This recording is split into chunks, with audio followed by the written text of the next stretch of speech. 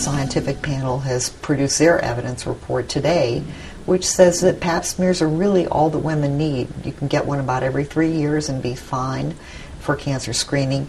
And they say the evidence is still a little thin yet on whether to recommend for or against screening with uh, HPV testing, which looks for a virus that causes cervical cancer. Right now, cervical cancer screening is a great success story.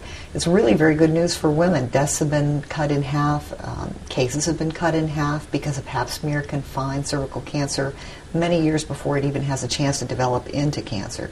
A new study is out finding that if you go every year for a mammogram and you do this for 10 years, your chances are 61% of having a false positive. That is, having uh, having to go back for more tests that turn out not to show any sign of cancer at all. Um, if you go every other year instead, that 60% chance drops to 42%. So there are fewer false scares, false alarms if you go every two years for mammograms. A lot of women really don't mind a false alarm. They're, they're, they're uneasy about it. They can cost money, they can lead to side effects, but some women feel that it's worth that for the extra margin of early detection.